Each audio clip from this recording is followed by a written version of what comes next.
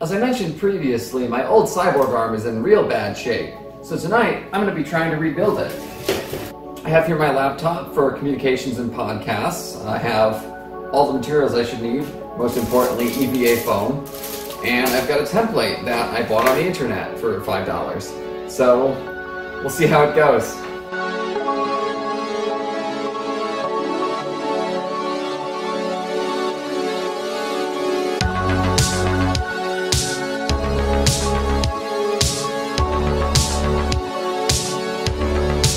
Okay, this is as far as I got tonight.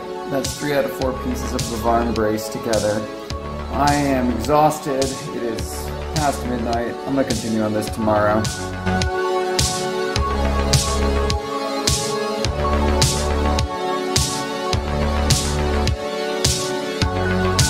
Painting, I'm gonna start with three layers of Plastidip and then metallic finish, blot on and then wipe off some black, and I'm going to finish it up with a weatherproofing lacquer.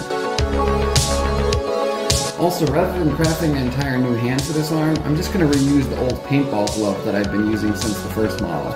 I'd like to take this opportunity to repaint it to match though.